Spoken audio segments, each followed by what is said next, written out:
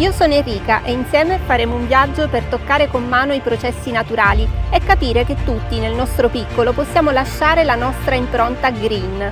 Benvenuti su Tax Green.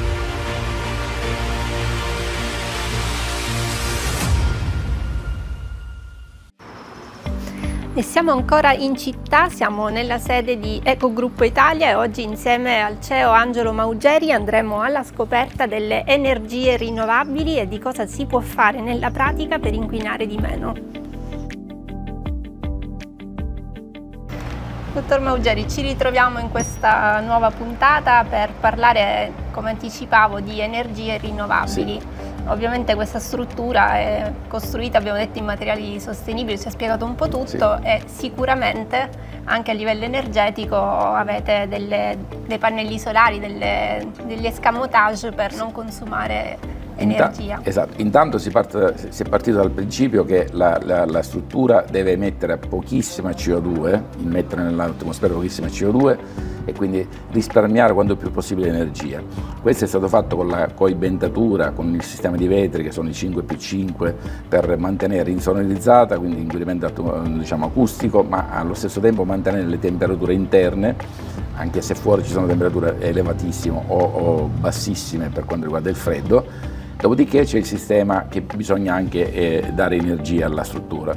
Quindi noi abbiamo messo fino adesso eh, 20 kW di pannelli solari, eh, riusciamo a produrre intorno ai 13 kW, 13-14 kW eh, l'ora eh, e in più abbiamo le batterie di accumulo che mm, quando ci serve l'energia la accumuliamo, poi durante la sera o quando manca il sole continuano a dare energia alla struttura. Quindi un risparmio attualmente è un risparmio che va intorno al 70% diciamo, di quello che normalmente eh, consumerebbe questa struttura.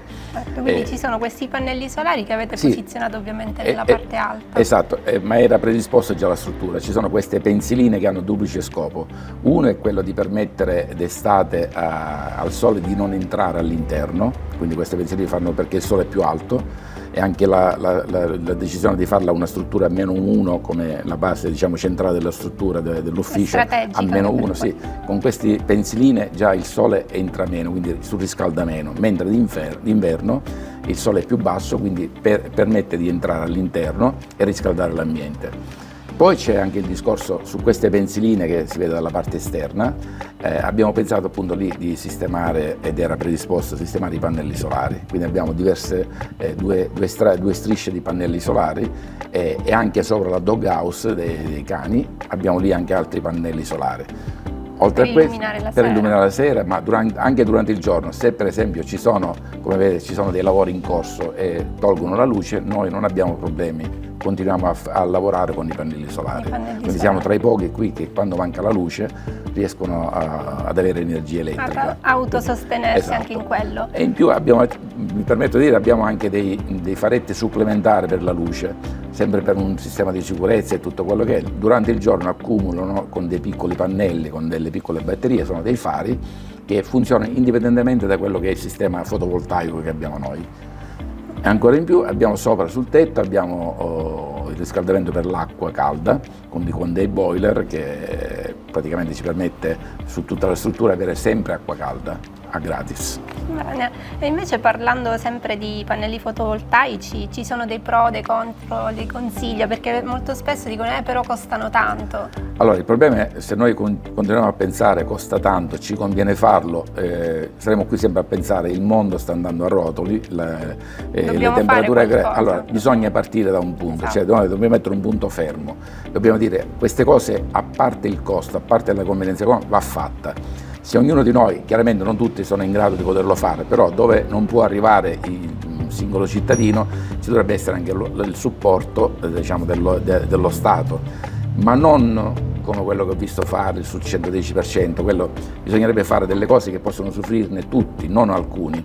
Quindi se noi cerchiamo di appunto oh, tramite pannelli solari, impianti mineolici o creare delle comunità energetiche, perché in un quartiere si potrebbe creare anche eh, una comunità energetica, cioè mettere dei pannelli o qualche impianto eh, diciamo eolico, mini eolico, che produce già energie, noi potremmo avere energia eh, a sufficienza, ma se non arriviamo al 100% e riusciamo ad avere una fornitura di 50-60%, stiamo, stiamo, facendo una cosa utile all'ambiente, cioè certo. meno 60% di idrocarburi.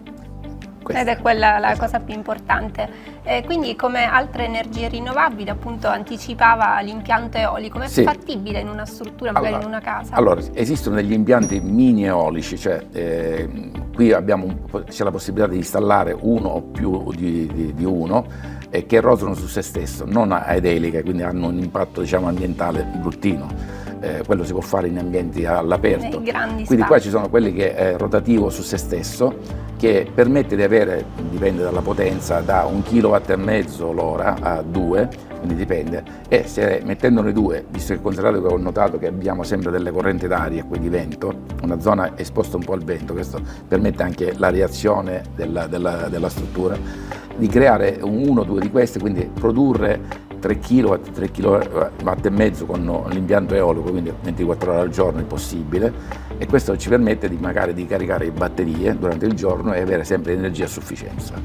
E parlando di energie rinnovabili possiamo fare riferimento alla biomassa, così come i nostri amici di Albera mi consigliano, eh, la biomassa non è altro che uno scarto che hanno le aziende agricole che può essere riutilizzato, come ad esempio i trucioli di legno o i noccioli d'oliva, che vengono utilizzati poi per fare il combustibile, quindi per ehm, produrre energia ma allo stesso tempo non inquinare, non introdurre gas serra nell'aria e allo stesso tempo generare crediti di carbonio.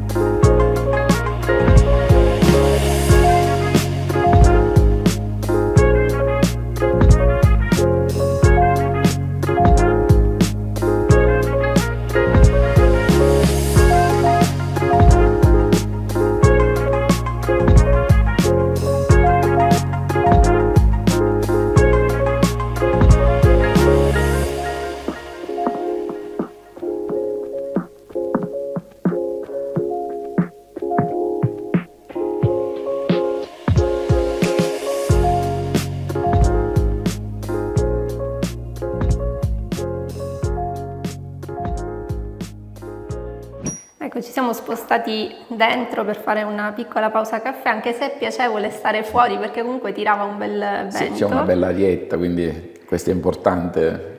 Nel frattempo, intanto un che sorso di caffè, caffè non fa male mai. ehm, quali sono le scelte sostenibili che possiamo fare nella vita di tutti i giorni, quindi magari se ci dà dei consigli pratici?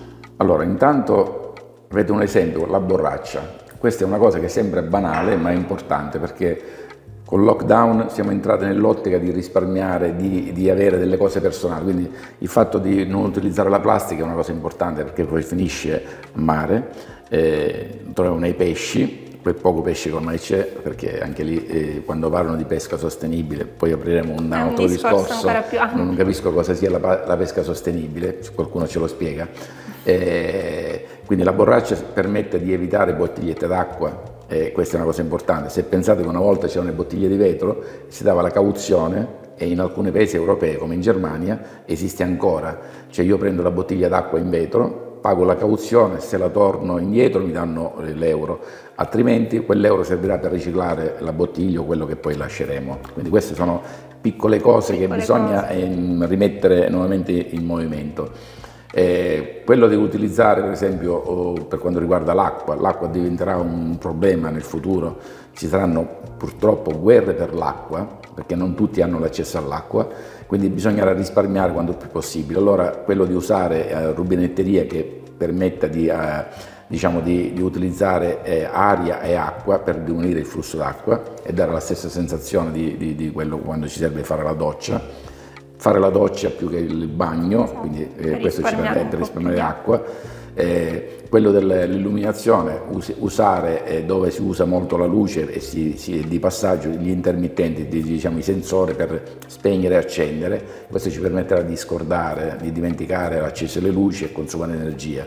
Quindi queste sono le piccole cose, anche fare la spesa, Magari Questa... scegliere dei prodotti biologici. Allora, oltre a scegliere quello bio perché consuma meno energia rispetto ad altri e, e c'è il rispetto per l'ambiente e soprattutto per gli animali. Ci sarà anche una legge che è uscita da poco e sarà applicata per il benessere animale, quindi anche l'animale che poi purtroppo viene macellato eh, deve essere rispettato fino alla fine della sua vita e quindi eh, evitando amputazioni, avendo anche la possibilità di zone eh, di, diciamo, di spazi eh, all'interno della stalla e col paddock esterno, eh, di non essere maltrattato, questo è importante. E poi c'è anche il discorso quando andiamo a fare la spesa, evitare di fare spesa per diversi giorni perché appesentiamo il frigorifero, il frigorifero sta sempre in movimento, cioè no, a, a, ricaricare e per raffreddare, quindi consuma più energia.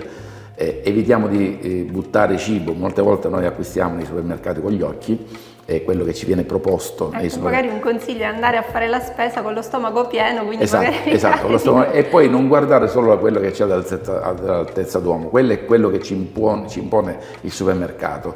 Possiamo guardare anche in basso o più in alto. E soprattutto Troviamo... leggere le etichette. Esatto, poi volevo... e leggere le etichette è importante perché molte volte non sappiamo cosa acquistiamo, le scadenze sono importanti, ecco, la comunità europea ha fatto una nuova legge proprio per, per evitare eh, di buttare cibo, quella sulle etichette, leggere le etichette se preferibilmente oppure eh, si entro. deve da consumare entro, cioè, e poi se c'è un periodo, perché lo spiegheremo anche in altre puntate, c'è un periodo che di, di, anche se è scaduto che il prodotto può essere utilizzato, dipende da cosa andiamo uh, Molte volte troviamo il riso che c'è la scadenza, ma il riso può stare anche più tempo. Come l'olio. O come l'olio. Ecco. Quindi bisogna eh, evitare sperpero eh, buttare prodotto, perché quello per produrlo abbiamo eh, consumato energia, abbiamo anche inquinato. Certo. Comprare prodotti locali, questo un, permette un risparmio Uh, sia energetico ma anche uh, di salvaguardare l'ambiente perché un prodotto, loca eh, prodotto localmente che è quasi a chilometro zero, consumato in loco permette che ci siano meno camion che trasportano, eh, meno dispendio di energia, mentre se noi eh, siamo abituati ormai a comprare in periodi diversi dell'anno frutta esotica, dobbiamo pensare che per portare quella frutta esotica ci sono delle navi, container che trasportano, che inquinano e quindi spostarci quando è più possibile a piedi. Quindi dove è possibile non andiamo anche a prendere un caffè con la macchina a 100 metri di distanza e posteggiare davanti, quindi rispettare un'altra cosa che non tutti pensano, di rispettare le, le, aree dedicate ai portatori di handicap, soprattutto le scivole dove vengono fatte, eh, di non intracciare il traffico per queste persone, perché se ci fate caso voi a Catania ne vedete in giro o nelle città vedete in giro qualcuno sulla sedia a rotelle? No. Non escono, stanno, sono costretti a stare chiusi perché nessuno si occupa di dare possibilità e dare voce a queste persone. Hanno il diritto di andare in giro, ma se noi che abbiamo la fortuna di andare in giro con le nostre gambe, poter camminare, posteggiamo la macchina, facciamo 100 metri con la macchina e la posteggiamo dove sono posti riservati e non pensiamo di rispettare le strisce, sono... le aree diciamo, dove ci sono, sono, state tolte le barriere architettoniche. Ecco, questo è anche un senso di civiltà e di rispetto all'ambiente. E poi parlando di trasporti, comunque magari spostarsi e fare un investimento su un'auto elettrica che potrebbe essere la soluzione Naturalmente come tutte le cose che si producono hanno anche una parte di inquinamento. Io dico sempre che bisogna eh, trovare i pro e i contro. Allora, cosa inquina di più? Una macchina elettrica o una macchina a gasolio o a benzina? Sicuramente la macchina elettrica inquina di meno. Il problema qual è stato? Inizialmente si è fatta la macchina elettrica, ma già esisteva da più di 15 anni una macchina elettrica, ma non si è pensato come poi eh, smaltire. riutilizzare, smaltire le batterie. Oggi esiste una tecnologia, è tutta italiana, per la, eh, recuperare il litio come contenuto nelle batterie, quindi e riutilizzare le batterie. Questo permetterà in futuro di fare una sorta di cambio delle batterie, cioè non per forza dobbiamo avere zone dove ricaricare le, le macchine, ma noi possiamo andare in un posto eh, dove c'è la possibilità, con un sistema diverso da quello di oggi, dove sostituire le batterie diventa semplice e posso andare tranquillamente. Quindi questo sarebbe, oppure c'è il discorso di un'altra tecnologia italiana, le batterie di accumulo al sale, al cloro di sodio. Questa è una, batteria, una batteria che è fatta in Italia da una, da una ditta italiana che attualmente viene utilizzato per strutture come queste, cioè per l'accumulo del, de, dell'energia, perché hanno bisogno di, queste batterie hanno bisogno che, che ci sia una temperatura costante in modo che permetta al sale di sciogliersi, essere liquido. Quindi si sta lavorando anche su quello per le macchine, quindi eh, in futuro ci saranno, io credo che da qui a, a pochi anni, perché ormai come per l'ambiente ma anche per la tecnologia andiamo velocemente, troppo velocemente, quindi mentre la tecnologia è positivo che andiamo velocemente sempre a salvaguardare l'ambiente, il fatto che l'ambiente, il clima cambia troppo velocemente, eh, questo è un, non è un bene ma è un male. È un male. Dottor Maugeri, io la ringrazio per avermi anche aperto le vedute, lei è un pozzo di informazioni, è un esempio di, di Naturalmente noi non ci sostituiamo ai tecnici, agli esperti, agli scienziati, il nostro è, il nostro è un modo di, di, discutere e di magari di, di lanciare qualche idea, esatto, anche nelle persone che normalmente non hanno la possibilità, per questione di tempo e tutto, di, di vedere se ci sono alternative, noi diamo, accendiamo quella lampadina e poi ognuno faccia la propria la parte. Propria parte esatto. Grazie mille. Grazie a voi. E questo viaggio giunge al termine, ma prima di salutarci e fare i ringraziamenti del caso, io vi lascio con la clip che abbiamo realizzato insieme a Paolo Morale che conclude un po' questo viaggio e ci vediamo dopo. Ciao Enrica, beh, com'è andato allora? Eccoti, è andato tutto bene. Adesso un po' di meritato riposo ti volevo ringraziare perché grazie ai solari di Namalei, come vedi, non mi sono bruciacchiata, non mi sono ustionata. Mi fa piacere. Mi sono ricordata di mettermi la protezione. Bravissima. Spesso durante la giornata. Eh, mi hanno chiesto del solare anche uh-huh. lì dove sono stata, quindi quando lo possono trovare e dove lo possiamo trovare. Il Sun Crystal Stick è già disponibile presso tutti i punti vendita Namalei oppure direttamente sul nostro sito che è www.namalei.it. Io ti ringrazio Paolo, Grazie a voi. sei stato un grande compagno di viaggio, anche se non sei stato tutto il tempo con me, comunque con i solari è come averti avuto accanto. Grazie a voi, è stato veramente un Grazie. piacere. Un abbraccio.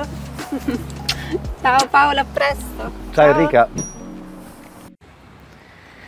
Ebbene sì, è arrivata la fine di questo lungo viaggio, è stato bellissimo vivere un po' questo, questo percorso. Siamo partiti dal, dal, bosco, dal verde, dagli animali, è stato davvero un viaggio incredibile. E ehm, io ci tengo adesso a fare dei ringraziamenti eh, perché comunque sono dovuti e sono fatti con il cuore eh, perché senza l'aiuto di un team e di tutti coloro che hanno partecipato non era possibile realizzare tutto questo. Adesso mi emozionerò, però ci sta anche questo. Eh, nulla, ci tengo a ringraziare principalmente come primo il mio compagno di vita e di viaggio Manuel, che è sempre stato dietro le quinte, si è occupato di ripresa e montaggio.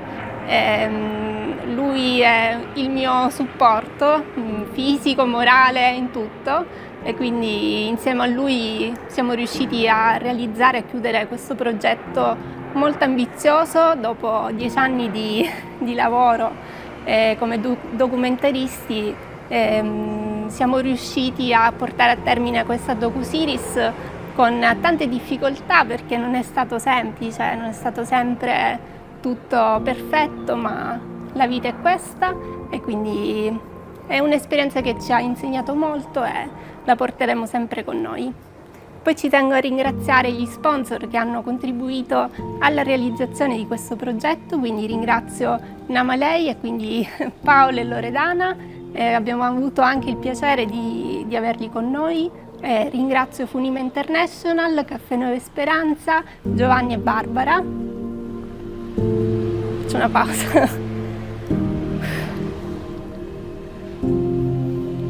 Ci tengo a ringraziare anche Francesco Musardo di Alberami, ehm, ci tengo a ringraziare il CEO di Ecogruppo Italia Angelo Maugeri che ha aperto le porte di casa sua ehm, e ha creduto fin dal primo momento a questo progetto, ci ha dato la possibilità di, di realizzare tutto e quindi lo ringraziamo. Eh, ci tengo a ringraziare Vincenzo Lo Monaco perché Eh, lui ha creduto in noi anche dall'inizio, eh, ci ha guidato e ci ha supportato in tutti i momenti e quindi lo ringraziamo. Eh, poi ci tengo a ringraziare chi è stato anche insieme a me il protagonista come Basilio Busà, eh, anche Cinzia di Bagolaria. Ehm, è stata veramente un'esperienza incredibile, ehm, senza di loro non sarebbe stato possibile nulla. adesso io inizio a pensare già alle prossime avventure. Eh, lo zainetto è sempre pronto, si va, ci aspettano grandi cose e voi se vorrete sarete con me. Alla prossima!